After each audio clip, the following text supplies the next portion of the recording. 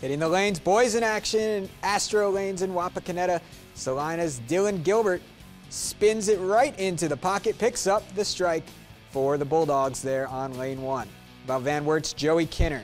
Nice ball here. Knocks them all down. And right next door, Austin Cook of St. Marys picking up the spare. Nice two-handed roll.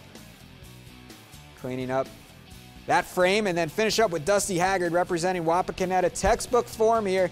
10 pin kicks down. Defending state champs off to a fantastic start this season.